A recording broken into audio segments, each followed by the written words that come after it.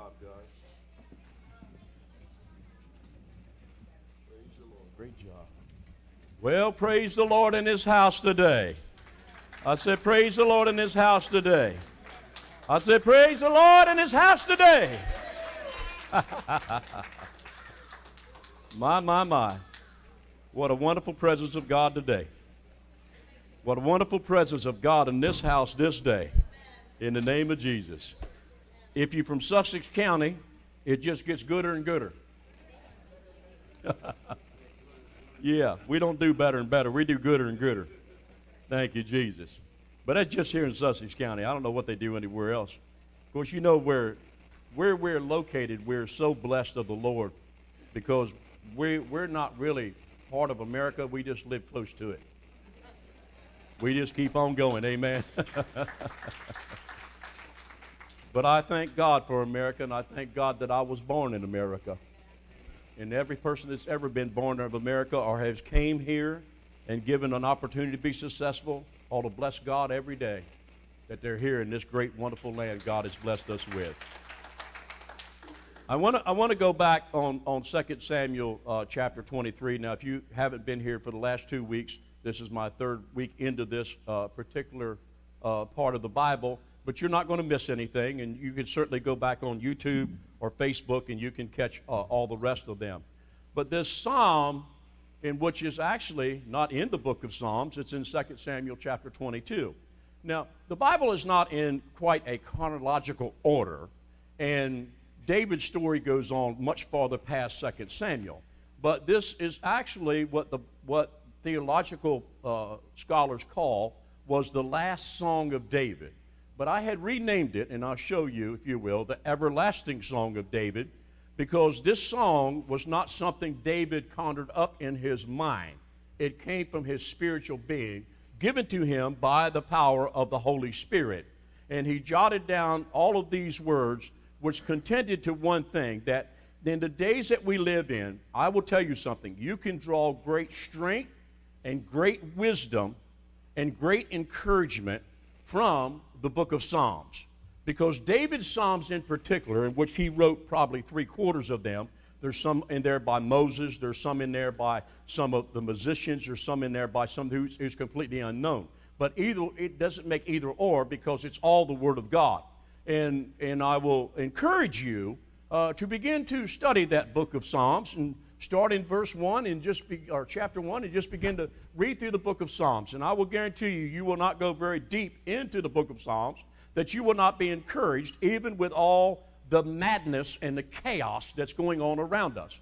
Now, this madness and chaos in which that we have encountered, and, and, uh, and it's been progressing. Uh, you know, uh, to my opinion, we, we had uh, four better years than we're having at this time in history. And, uh, and it's all because of choices what we make. But now, in saying that, I want you to understand something about our electoral system that, that came from God Himself.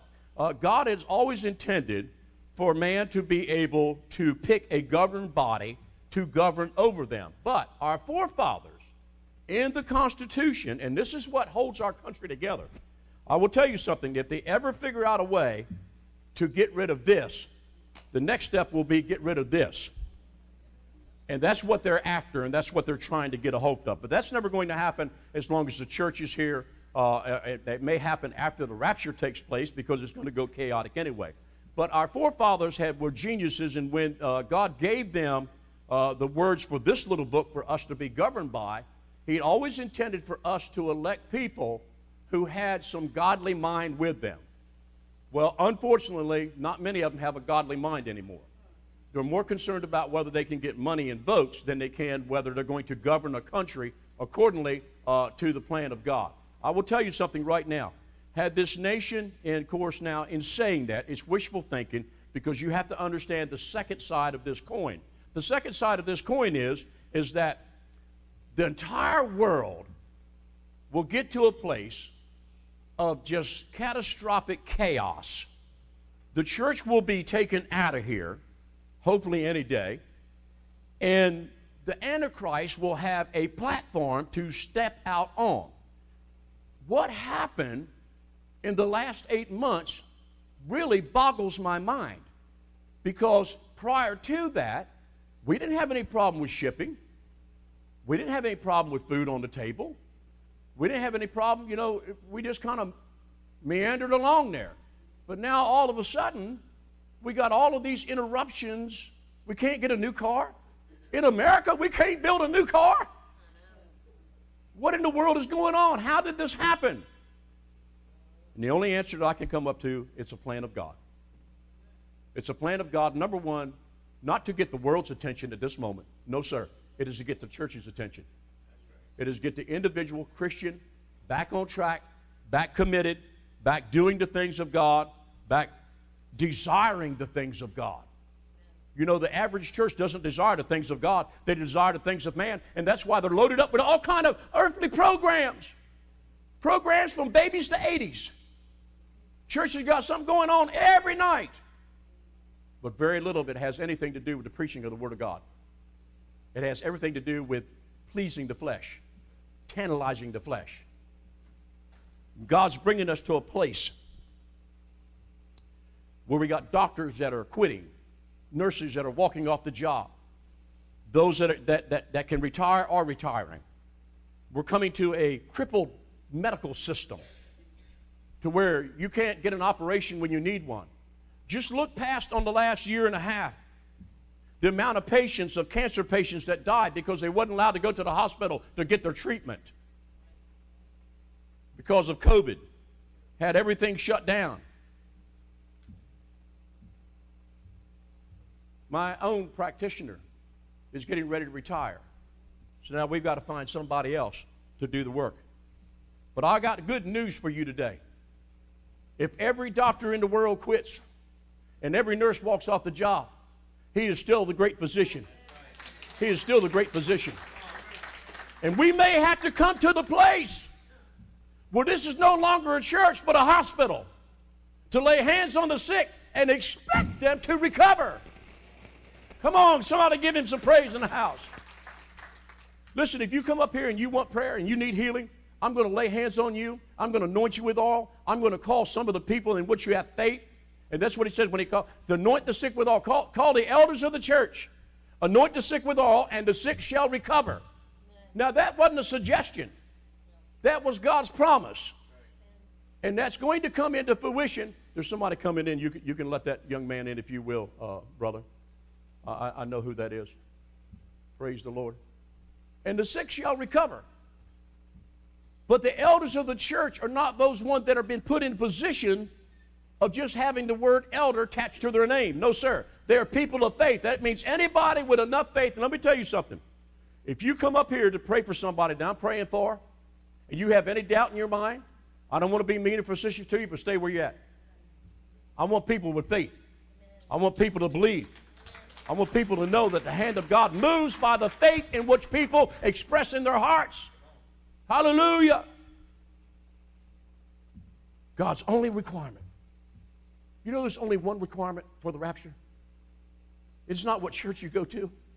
It's not what denomination you belong to. You're going into rapture simply because you believe that Jesus Christ died for your sins and you accepted that. You're going into rapture. Because none of us deserve to go. None of us deserve anything from God. Do we not understand that God's great grace is his unmerited favor towards crippled man who could not make it on his own? So he gave his only begotten Son that he so loved the world that whoever would believe in him shall have everlasting life. Go ahead, go ahead, give him praise. So, in this great psalm of David in 2 Samuel chapter 22, if you will, give me that first verse. I backed up just a few verses uh, just to bring you back up to speed. So he begins to say like this For thou hast girded me with strength of battle. Them that rose up against me, thou hast subdued under me. Now, every ounce of sin and every attack from the devil is always subdued by faith. It ain't a matter of fact if the devil is going to attack you, but when because he's always looking for a chance to discourage you, to get you off track, to tell you you don't need to go to that church, you don't need to listen to that preacher. Oh, you ain't got time for the Word of God today. You're too busy. and getting all these things other than what you need.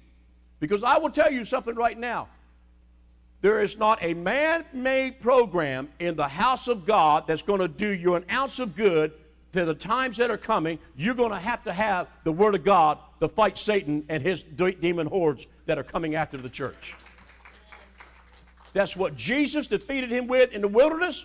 That's what the church will defeat him with on this earth. Hallelujah. And he knows it. And so he devises and gets ministries to entertain instead of instruct. Now, there's nothing wrong with Christian entertainment. I love Christian entertainment. We have it here, and there's a time for it. But the main focus of the church is to insert the Word of God into one's heart, to give them a word in which David says, Thou there has girded me with strength of battle, giving him the Holy Spirit. See, you have the Holy Spirit in you, which is the most powerful weapon on the face of the earth. There is not a nuclear bomb that's ever bigger than the power of the Holy Spirit. Hallelujah. Holy Spirit can move mountains. Say to this mountain, Be thou removed, and shall be cast into the sea. You shall not doubt in your heart. Hallelujah. Mountains, we're not talking about literal mountains. We're talking about the mountains of life. The mountains of physical problems, the mountains of spiritual problems, the mountains of financial problems, the mountains of relationship problems. There's always a mountain. But I will tell you something God will give you the power to climb that mountain. And when you get to the top, you'll be like Moses. You'll find him. You'll find him. You'll find him real in your life. Hallelujah. Thank you, Jesus. Next verse, if you will, please. Verse 41. For you have given me the necks of my enemies, that I might destroy them who hate me. Listen to the footnote. Every believer is intended to be completely victorious over the world, the flesh, and the devil, and could do uh, no nothing through uh, and can do so through the cross and only through the cross. Now, let's go back to the teaching of the cross because it's the most important message that's ever been given in the Word of God.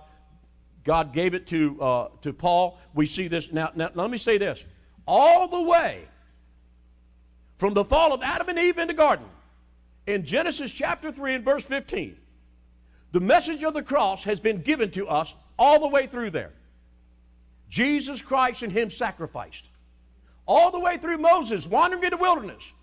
The entire thing of the tabernacle in the wilderness, right down to the smallest minute, whether it be a gold ring, brass ring, copper ring, whatever it was, holding up the curtains, the colors of the curtains, the way that the, the, that the holies was designed, and the holy holies of the design was designed to do one thing to express Jesus Christ and Him crucified. Hallelujah. Because the power of the cross is our power. It, it is our power and our solution to every issue and every problem and every weight of sin that so easily besets you. Next verse, please. Verse 43. And I did beat them as small as dust of the earth. I did stamp them as the mire of the street. And I did spread them abroad Note says this is uh, what we do with every sin in which does so easily beset us. Hebrews chapter 12, verse 1, if you want to see reference to that. We are to overcome all, and nothing must overcome us, and it can be done only through the cross. You know why that God that I'm perfect today? because of the blood of Jesus. Amen. I'm not perfect in my body, but I'm perfect in the sight of God. Because that's the only thing that He will accept is perfection. He will not accept our bumbling and stumbling and everything else that we try to do in religious realms uh, to try to impress other people and try to say, you know, that, well, I'm, I, I, you know, listen, that I am the favor of God. Let me tell you something right now. Because of the blood of Jesus, you are highly favored in the sight of God. Every one of you. Not based on what you do, based on who you believe in. If I'm going to be better, it's because He's going to make me better. I know my faults, and I've got tons of them, and plenty of them. And any Christian walks around with their nose in the air and thinks that they don't, I doubt their salvation. I can't judge their heart, but I can judge your fruit. And when it's got worms in it, I ain't eating it. Amen? If I'm going to eat fruit, it's going to be good fruit, not just any fruit. And there's a lot of people who do, and it's sad because they're missing the blessings of God. Do you understand that those who humble themselves before the Lord, God will lift them up? God will lift them up. because he knows that you can handle the self pride that lives within every human being's heart. See, I don't, I don't, how can I say this? I, I praised and worship God riding to church this morning. that he would choose an old wretch like me to bring his word. To come into this house and, and I said, God, give me your anointing this morning. Give me your wisdom and your knowledge. That, Lord, something that I speak today will encourage your people, will strike them dead into their hearts, cause their lives to be changed, God. Not by the power of the church, but by the power of God. See, the church always thinks that they can change you. I can't change you, but I know the man who can. Amen. The same man that changed me. Hallelujah. Yeah. Yeah, if you're here today and you don't know Jesus, just ask yourself, how's my life going? I guarantee you, it ain't going good. With all your doubt and your fear and your unbelief and everything else going on, there's only one that can cure that, and that's the blood of Jesus. To face what we're facing in this world today, church, just look at the violence that's going on in our own communities. I mean, just in Seaford the other day, they killed somebody, set the place on fire, burned them up. In Seaford. I'm not talking about Chicago. We got gunfire going off in the city streets everywhere. There's not a street in Seaford, Delaware, or hardly in Laurel or anywhere else that you can walk down and feel completely safe. But you're not looking over your shoulder. Sussex County, in particular, has a very false, uh, uh, uh, a, a false sense of security because we do live in a great area. That I will give you. As far as I'm concerned, there is no better place than the Eastern Shore. Hallelujah. Amen. Whether it be in Maryland, Delaware, or Virginia, there's no better place than the Eastern Shore. Listen to this. Next verse, if you will, please. Verse 44. You have, all, you have also have delivered me from the strivings of my people, and you have kept me to be the head of the heathen. And my people, which I, I knew not, and, and shall serve me. Now, this actually pertains, has nothing to do with David, but has everything to do with Jesus Christ and his second coming. Listen to the note. This happens with David, and as a greater fulfillment awaits the greater son of David, who is Jesus, and which will take place on his second event when the entire world will serve him. Hallelujah. Hallelujah. That will bring world peace. There will be no peace there will be no serenity. There will be no stopping of war. There will be no stopping of disease. There will be no stopping of hunger or anything else in which we've already encountered. It will just get worse as we go. Oh, but the people of God, we're going to be all right. We're going to be all right. We're a peculiar people. Go ahead, go ahead. We've came to the kingdom for such a time as this. We've came and God has blessed you for one of the greatest events that history will ever record for a short period of time, and that's when the church is taken out of here by the Lord Jesus Christ Himself. The first time around, He sent Moses. Moses took him 40 years to get a group of people who would believe God. Now it's taken the last 2,000 years to get a group of people who believe God. But God is not going to trust this exodus in the hands of man. This exodus is going to be in the hands of Jesus Christ and Him crucified. Hallelujah. It's coming, church. It's coming. I got back-to-back graveside funerals this week. I got one Friday and one Saturday, and I'm already praying. I'm already praying. I said, God, I don't care which day it is, but I hope I'm standing there when you come back. I'll meet my family in the air. I know where they'll be. But, but, but, but when the Bible says that the dead in Christ shall rise first, I'm getting ready to see that great event. Oh, hallelujah. And they ain't coming out of them graves looking like zombies, and they ain't coming out of there looking like Halloween characters. They're coming out of there with a glorified body, hallelujah, drenched in the power of God and the beauty thereof. I'm like, I'm getting ready to get one of them. I'm getting ready to get me one of them. Hallelujah. It's been years back. We had a, a, an old horse that Brother Byard helped me helped me bury that horse. That poor horse it, it was 42 years old when it finally passed, and uh, it was just waiting around. I thought it was waiting around for the rapture because I was going to ride it out of here.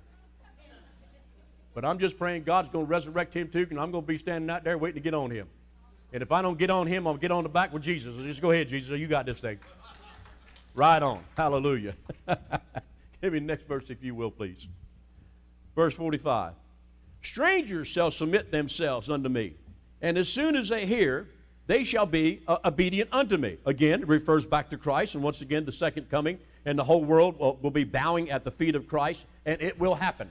Every knee shall bow, and every tongue shall confess He is Lord. Without failure. With absolutely without failure.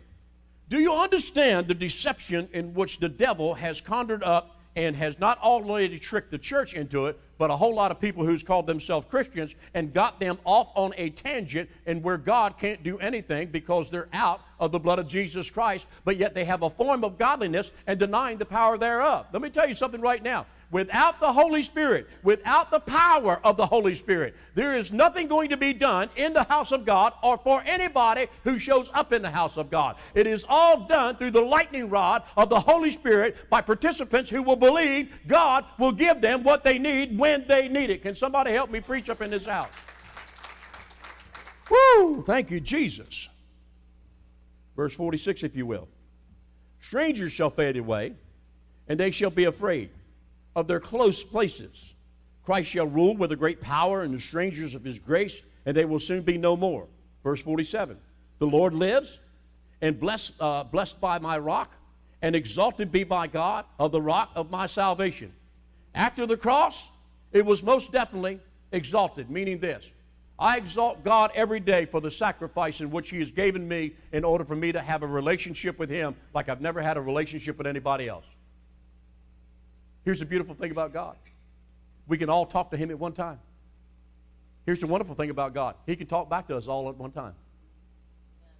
What gives us that ability to reach the throne of God goes back to the cross again.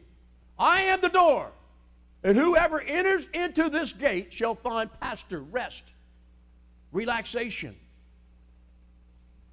confidence, not in what this world is doing, but what God is doing. See, all of this is a plan, church. All of this is just a plan. And in 2022, we're going to vote. In 24, we're going to vote. Hopefully, some things change for the better. But I will tell you something right now. If God tarries that far, and He might not, we can't vote our way out of this. But prayer and believing changes everything. Right. Hallelujah. The church can make a difference. But unbelievably, unbelievably, the church will vote just as much unrighteous as the world will. Go ahead, preacher. Go ahead, preach right there. Thank you. I think I will. I'll stay right here. Unbelievable. Now, when I say we can't vote ourselves out of this, but we can sure slow wickedness down by putting people in the right places at the right time. Now, in saying that, we must also understand that God is still in control and He's on the throne. Just a minute. My imp's got a ghost in it. It's not holy. It's something else, whatever it is. Come out of there in Jesus' name. Hallelujah. The church today, right now, is the only thing that's standing between the devil running over us and wiping us out and a holy God who loves us. We're standing the breach, church. Go ahead. Go ahead. Give God some praise. Not always in what we do, but in what we believe. We're the only moral standard that is left. Our schools have gone crazy. Our parents have been labeled terrorists. Can you believe this? The FBI and the DOJ is coming after you because you don't like what your kids are being taught. Listen to me, parent. www.k12.com. You can put your kid online free of charge. You ain't got to have a school tell them what to do. You can do it yourself. Hallelujah. Pull them out. Two thirds of what they teach them in there should be abuse to start with. In fact, the matter is, if they caught you teaching them of that stuff, they'd probably arrest you. This is where we have came to the moral fabric of our country. And the church has to make the difference. And the church has to stand up. See, I'm just fortunate that my child is 34 instead of 14. Because every week you're going to have to come bail me out of jail. Because I'm going to the school. And I'm going to knock on the door and I'm going to talk to the principal. And any time that I ever had an issue, and I've had in my time, well, let me, let me tell you this little story. In Christian school, young man, fourth or fifth grade, wasn't very old, had a pencil box. And one of the other little kids said, called him by name and said, What are you building, a bomb? And he said, Yeah, that's exactly what I'm doing. I'm building a bomb. The church teacher heard him say that, took him to the principal, and the principal called the state police. And so anyway, of course, you know, you know your pastor. I don't never say much about anything. So I'm standing out in the parking lot waiting to get uh, pick up my child. And the mother who usually parks beside me, she is tore up. She's all crying. I thought somebody died in their family. I said, What's wrong with you? She said, They called the state police on my son. I said, Do what? I know the little young boy. Had him in soccer. Do what? They called the state police on my boy. He cannot come back to school till he gets a psychiatric evaluation. I said, What in the world did he do? And she told me that story. Just about that time, the principal came by. I said, Hey, Hoss, come over here. Over here. You called the state police on this woman, on this woman's kid, simply because he said, Yeah, I'm building the bomb. He said, Well, that's what I'm required by law to do. I said, Let me tell you something, Hoss. You better call more than one state trooper if you do that to my son because you're going to need them. Nobody ever called on my son.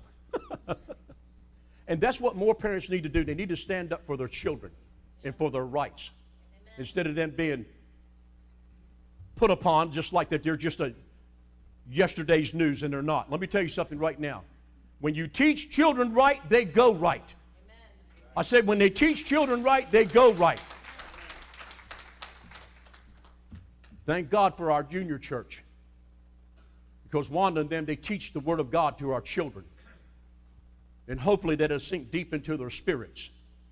If you watch around this church, and, and I thank God for it, little children run up me all the time. They, they're dragging on me. They're hanging on me and everything. I just, you know, you know why? Because I stop and I pay attention to them.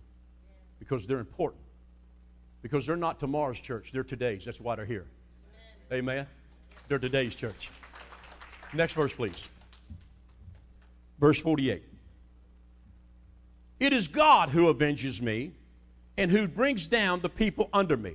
The believer must not take vengeance unto his own hands, but leave it to the such of the Lord. Meaning this you and I, throughout the history of life, has had people do bad things to us.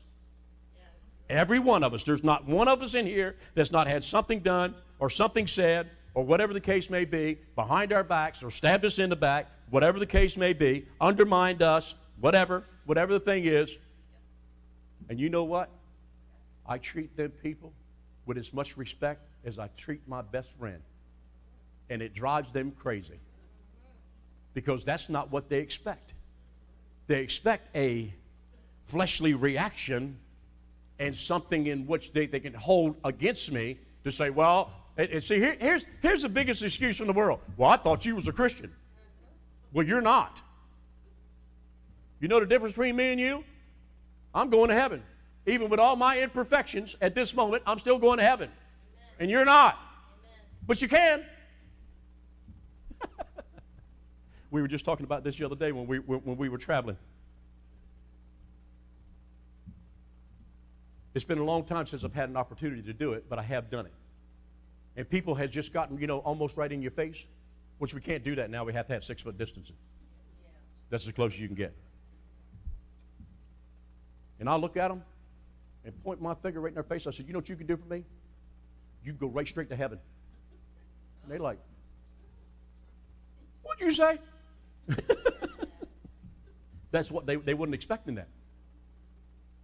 See, when you let God have vengeance, God will take vengeance on those who need to have vengeance on. It's His job. He'll take care of them. They'll be a miserable wreck. But you know my obligation is? is to pray for them. Jesus said in the Beatitudes, pray for them who spitefully use you, who lie about you, who do all these other crazy things. He said, pray for them. I pray for them, Pastor. I pray for fire fall down on their head burn them right up into a pile of ashes. burn them, Lord! no. No. Your prayer should be, God, save their souls. Open up their eyes. Let them see what I see. Let them feel what I feel. See, people who are not born again don't see what you see. People who are not born again, they don't feel what you feel. People that, that are not born again, they don't have the revelation of the Holy Spirit and the guidance in which He gives us. Now, that's not to say that, you know, that you and I, as Christians, we're going to make mistakes. We're going to flounder. We're, we're going to say things sometimes that's inappropriate. Welcome to the world of the flesh. But it's not something in which we practice. See, back in the day, I practiced sin. In fact, I was perfected at it. I was good. I was a master at sin when it came to drinking and smoking and cussing and running around and tripping over mic cords and I was a master at it. But then when I accepted Jesus, all of that moved. Not only did I not have a desire for it anymore, I don't want anything to do with it. But yet, that does not mean that my flesh is perfected or perfect in any way, nor will it ever be until we go on to be with the Lord. You're not going to have a perfect body until your body becomes glorified and or a spiritual body, whichever comes first. And those of you that go before the rapture, you get a double dose. You get a spiritual body and a glorified. Hallelujah. Next verse, please. Verse 49. And who brings me forth my enemies, and you also have lifted me up high and above those who uh, uh, rose up against me. You have delivered me from the violent man. As David was delivered from Saul and delivered from the powers of darkness, but only as our faith is placed in Jesus Christ and the cross can we ever begin to understand the freedom from sin. See, when I fail and I go to God, I say, God, help me.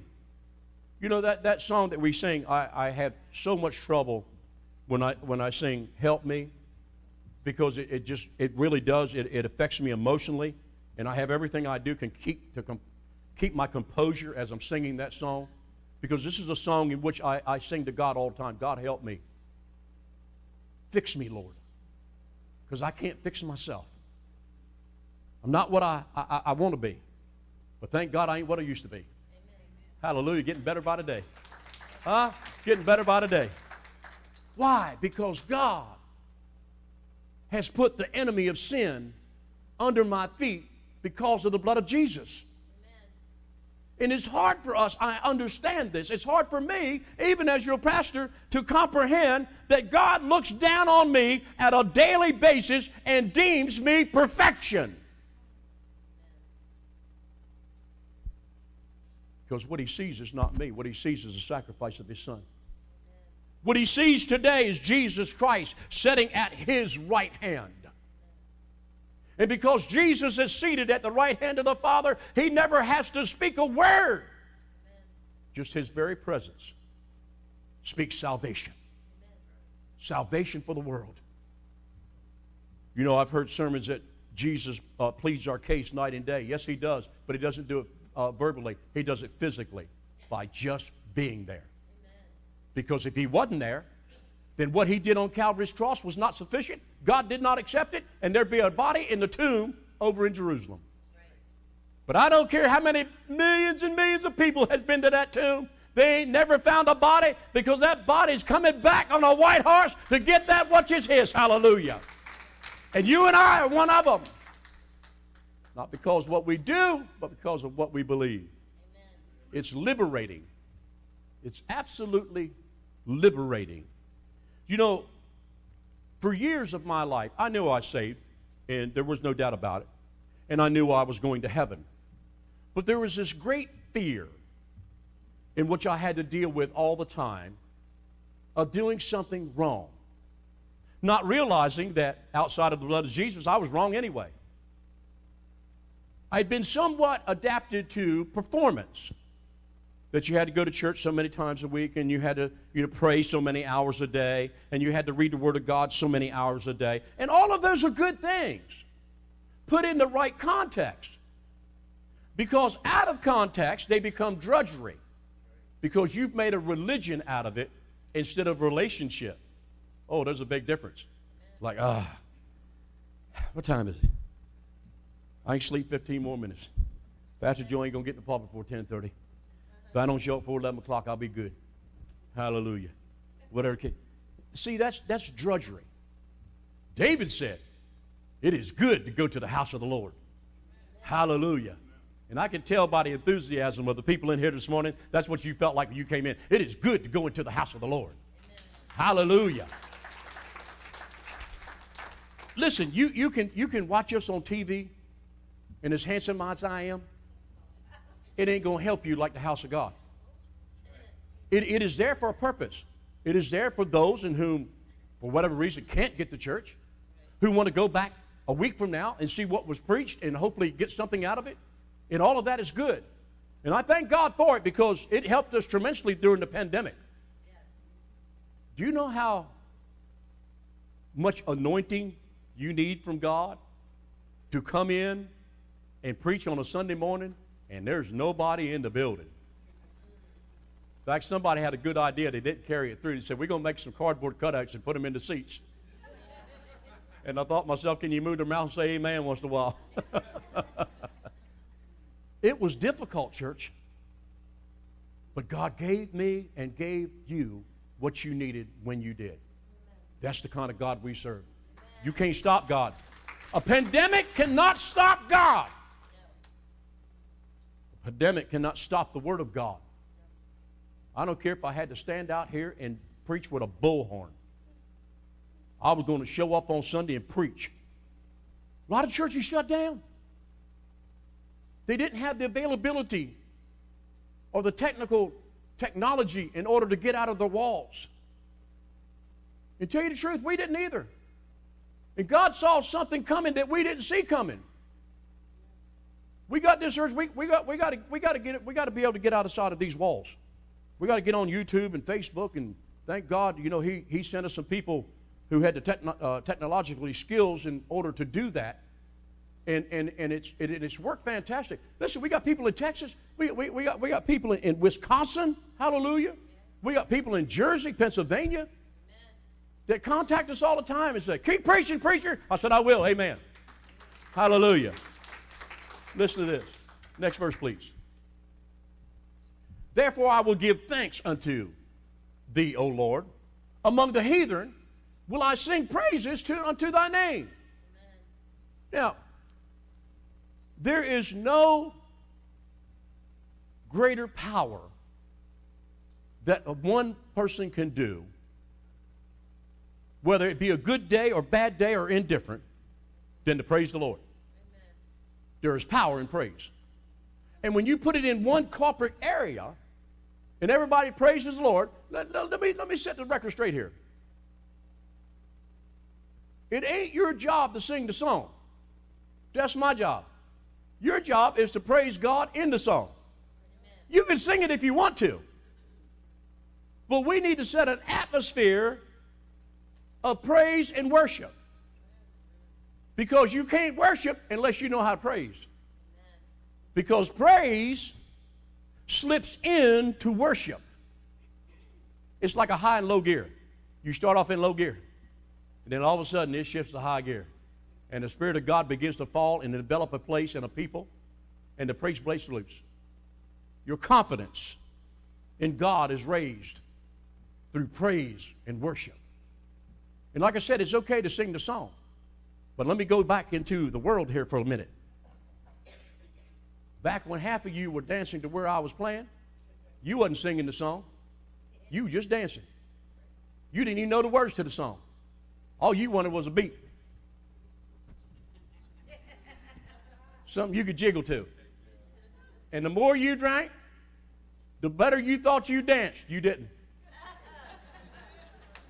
uh uh-uh. uh. You didn't.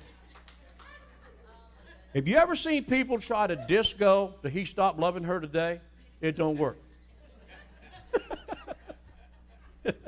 it don't work. But you know what the Holy Ghost will do? He'll do something that Jack and Jim Beam can't.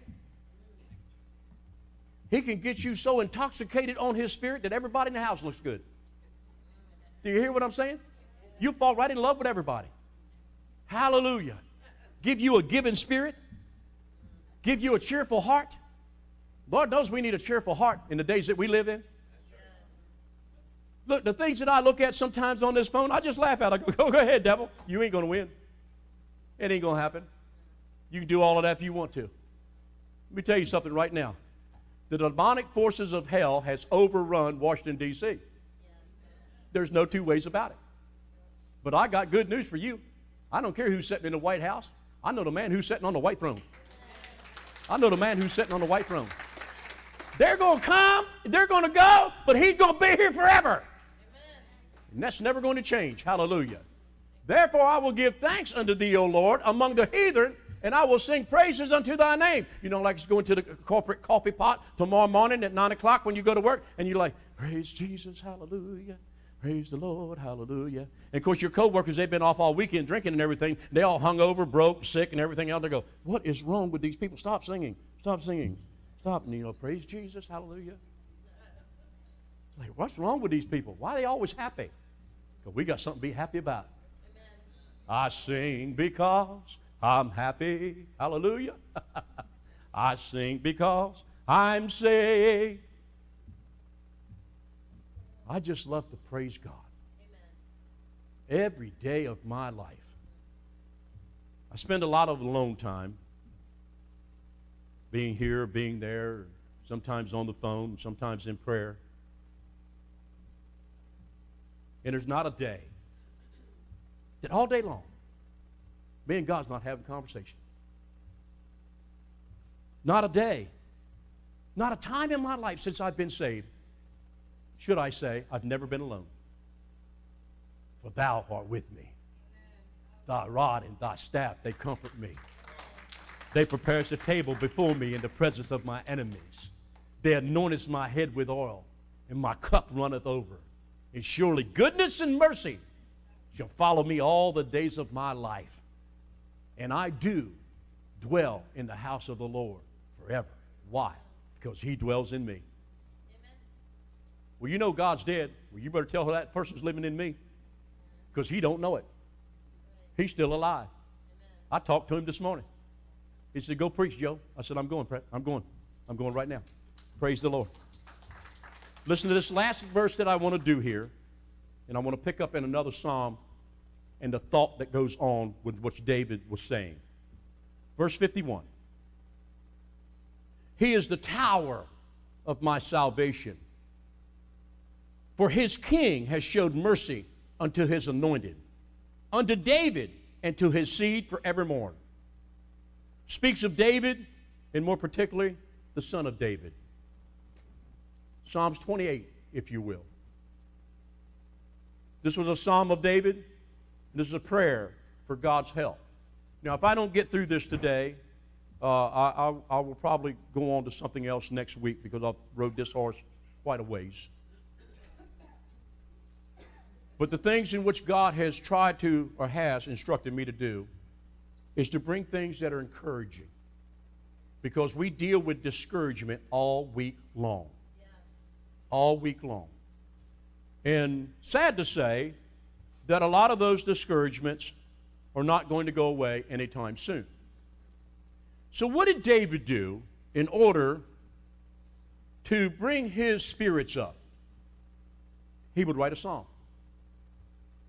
I'm sure, and we don't see it, but I, I feel quite confident that David would go to God and he said, God, give me a new song. Give me a song to sing, Lord. Because David went through some traumatic experiences. From his earliest of childhood, he had to kill the bear and the lion to save his own flock. Then it wasn't long after that, God thrusted him into the forefront, and Goliath was standing in his way. See, the bear and the lion always represents the sins in our life that don't seem to go away and they seem to be more powerful than we are. But David said, I slew them with my bare hands that that power in which God gave him was above anything that could ever be given by the hand of man. Then David looked at Goliath, did not view him as a giant, but just another victory in God. Amen. Hallelujah. God always gives his children victory to encourage them that he is still on the throne, that he is in control of your life and my life. There's nothing that I really fear. There's things that I respect. I respect the COVID because it has brought devastation on a lot of families.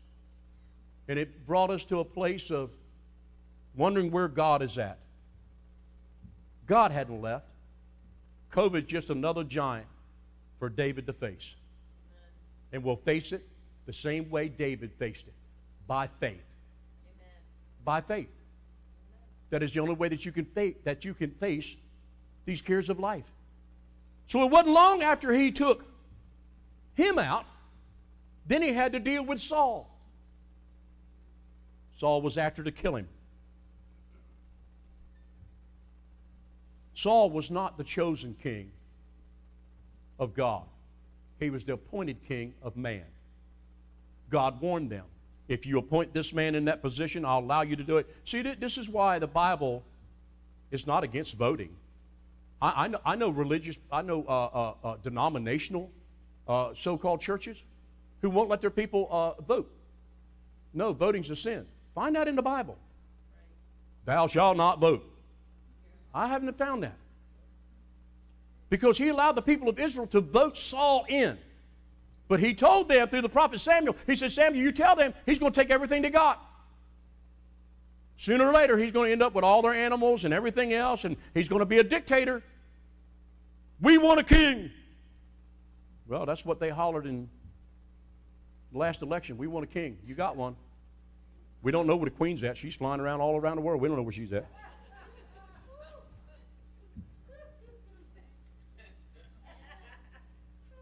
You want to see my impersonation of Kamala Harris? The world's going to hell.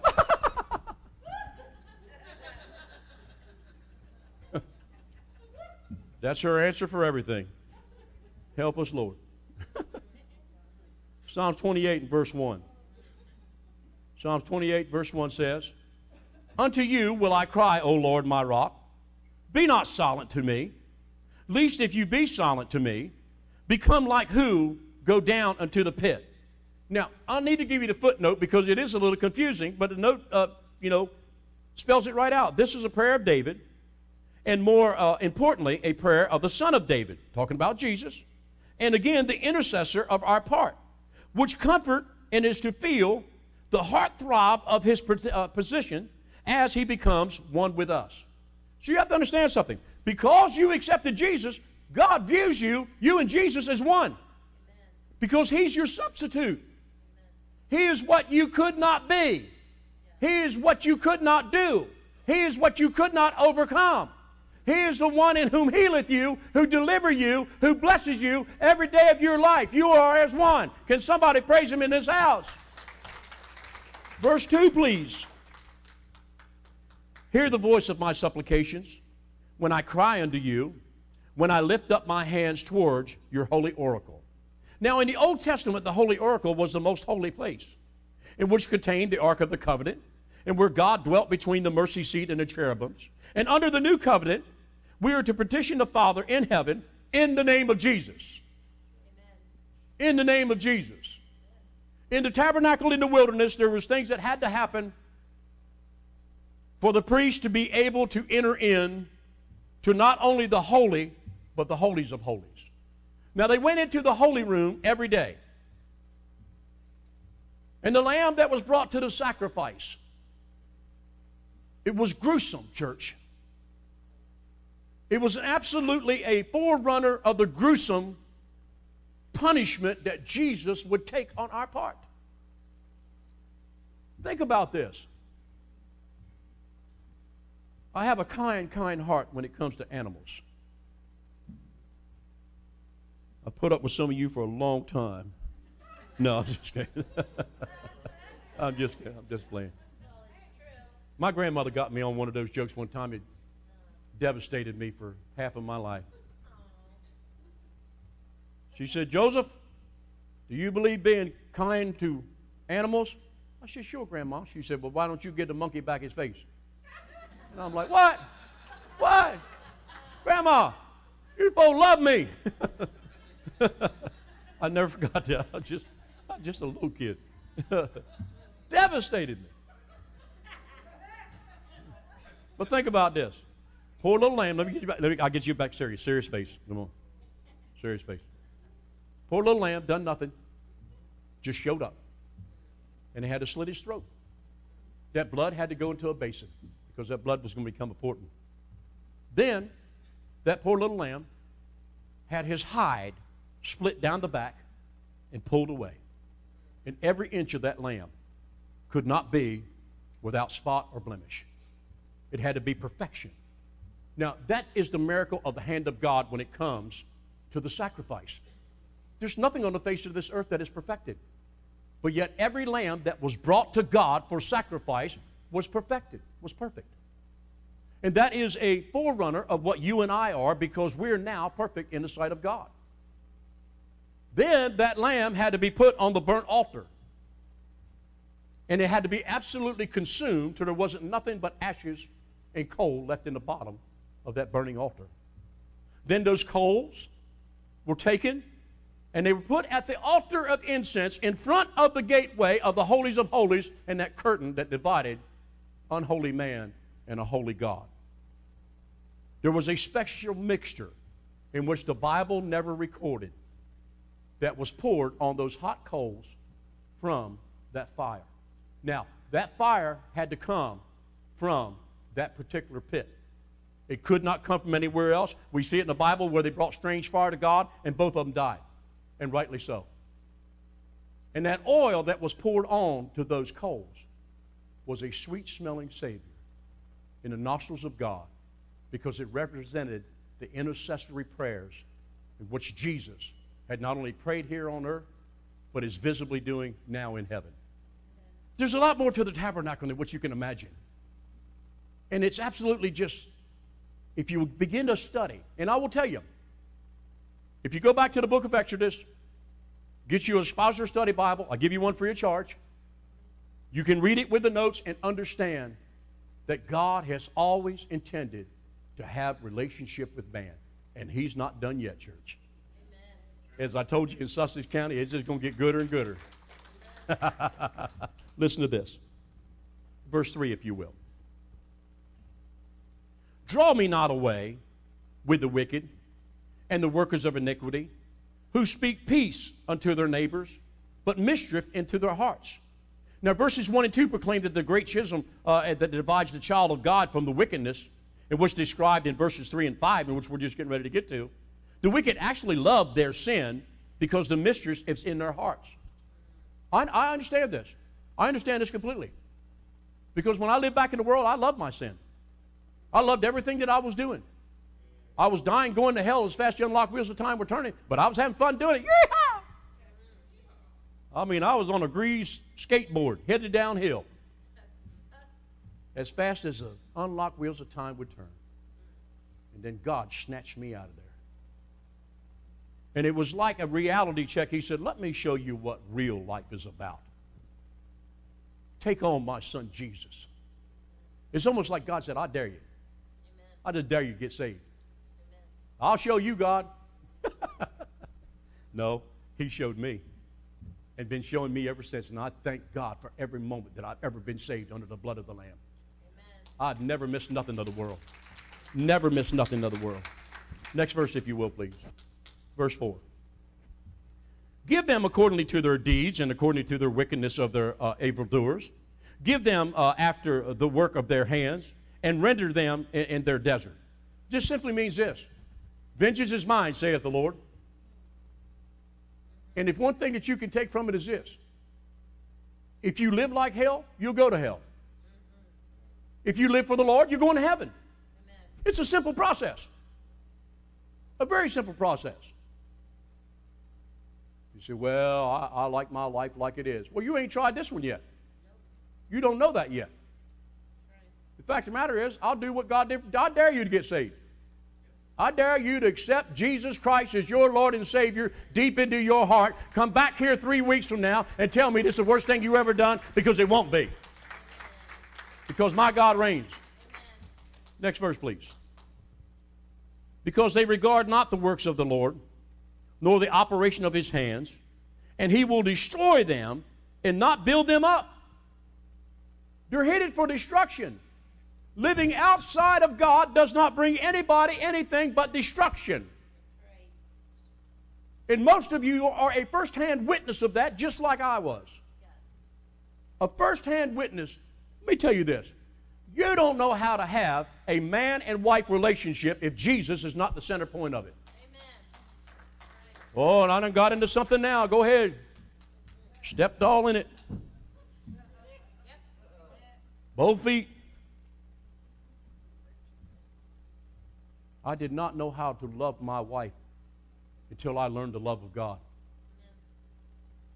I did not know how to love others until I learned the love of God. I didn't know what it meant to love them who hated you. it's a weird case. I've made mention of it before, but it is, God exploded in my spirit again. There were Christians of the, uh, that, that before I got saved that were in periodically in my life, in and out, whatever the case may be. And they could not stand me when I was a sinner. But they hated me when I became a saint. I'm like, what? Oh, yeah. They couldn't stand me when I was just an old drunk. But they hated me after I became a saint. You know what it was? Jealousy. Simple, pure, prideful jealousy. Because they could relish in the fact that before I got saved, I'm better than he is because they're going to hell. How dare us to take that kind of attitude with anything or anybody? We're here to save the world. We're here to bring the gospel of Jesus Christ to a hurting, dark, dying world. And if the church doesn't do it, who's going to? Who's going to, church? Who's going to take that to them? Listen to this. Verse 6. Blessed be the Lord, because he had heard the voice of my supplication. Now, it's kind of a lengthy footnote here, but it bears reading. We got a few minutes. Now, Christ, as our great high priest, in the perfection of faith, in which he is the author and the finisher, by declaring his supplication have been heard, God always hears the intercession of the great intercessor, the Lord Jesus Christ. In verse 2, we have the position uh, that God will hear uh, the supplication. In verse 6, we have the assurance that he has heard the supplication, and for all time. And while Christ, now beside the Father, is making intercession for us, the intercession that he has made, and the stand in the time of eternity, and is found in these Psalms. And in fact, no other intercession is needed. So we vary in the presence of the throne of God, meaning that he and the intercessor have been accepted, and which means it is his finished work. You know what the finished work of Christ is? There ain't nothing else I can do but accept what He's done. Amen. Nothing else is going to change me but that. And because my faith in that right there, my faith in what Jesus has done, has revolutionized my life and changed everything about me. It will change everything about you. But we cannot be changed by what we do, where we go, how we handle things. We can only be changed by the power of God of what we believe in. Amen. Hallelujah. Come on, come on, come on. Couple more verses here. Verse 7. The Lord is my strength and my shield. My heart trusted in him. And I am helped, therefore, and my heart greatly rejoices, and with my song I will praise him. Amen. With my song I will praise him. Amen. It ain't always a song that you sing off the radio, it's what God puts in your heart. I got a song that the angels can't sing. redeem my soul, redeem. You know, you're the only thing that's ever been redeemed. Angels can't sing. It's a song of truth, Lord, and victory. Redeem my soul, redeem. Oh, oh, oh, I've been bought by the blood, oh, of the Lamb. See, you sing songs like that, you'd be like, whoo. It'll do for you what cocaine can't do. It'll do for you what liquor can't do. It'll do for you what, anything that's out there in the world, that they ain't got it. God's got it. I said, God's got it. He got your next fix. I tell drug addicts all the time, if you if you want you got you got to get addicted to Jesus as you had the drug. Get your fix from the Holy Ghost. I ain't got much joy in my life. Then you need some Holy Ghost. He'll give you joy, unspeakable joy. He'll give you hope where there's no hope. He'll give you light where there's darkness. He'll give you love for the loveless. He'll give you peace where there is no peace. He'll give you hope for the hopeless. Somebody help me preach it in here. Hang on, two more verses and we're going to be done. Musicians, you can come on back if you will. The Lord is their strength, and He is the saving strength of His anointed. This passage declares the Trinity. He who anoints is God, the Father. He who is anointed is God, the Son. And the oil in which is anointed is symbolic of God, the Holy Ghost. People say, well, you can't understand the Trinity. Well, you need to get saved and you will. I experience God the Father, God the Son, God the Holy Spirit every day of my life. Every day of my life. God has made you a triunal being. You are body, soul, and spirit. God the Father, God the Son, God the Holy Spirit. Three very different, when I say different, particular jobs in which they do, but they are so in oneness that you cannot tell them apart. That's why they said he is three in one. And the church needs to come to that oneness oneness of heart, body, mind, and soul. You're not here to get your way in the house of God, and neither am I. We are here to do one thing to lift up the King of Kings, the Lord of Lords. That's what we're here to do. Last verse. Save your people, bless your inheritance, feed them also, and lift them up forever. Hallelujah, hallelujah. I am lifted high in the Lord today, church. I'm going to be lifted high in the church uh, today, tomorrow because God is with me. Hallelujah. Let's stand in the house of God today. Whatever situation you have, please come today. Please come, bring it to the Lord. This is the greatest time that you have as a people of God is to bring your cares, frustrations, problems, Whatever the case may be, God is here to do what He needs to do. He's just waiting for you to step out in faith and do what you need to do. Thank you, Lord.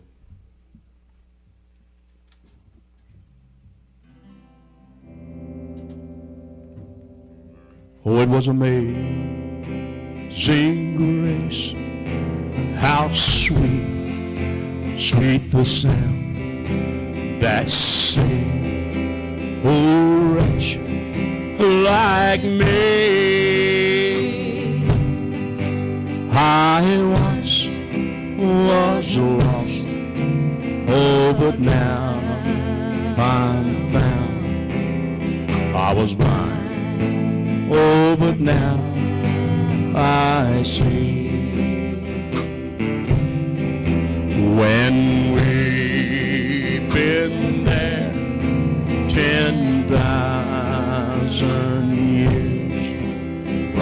shining as the sun. We knew last days to sing God's praise. Then when we first begun Help me praise Him, church. Here we go. Praise God. Praise God. Praise God. Praise God. Praise God. Praise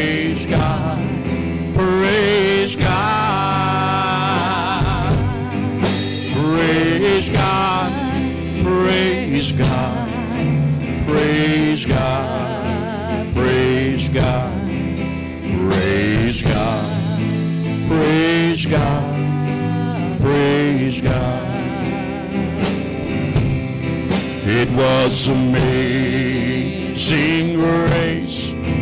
How sweet, sweet the sound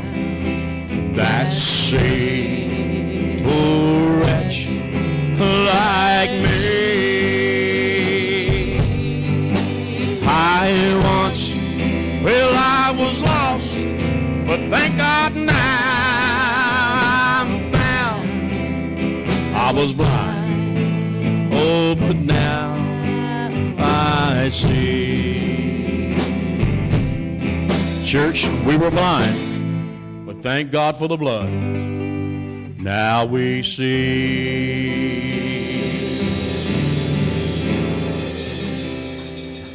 Lord, we thank you so much for the time you have given us in this church.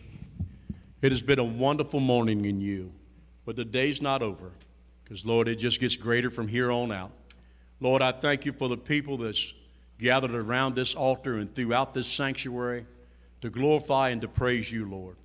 Father, encourage the hearts of your people. Father, rain down on them like no other, Lord. Father, let us be that light in a darkened time.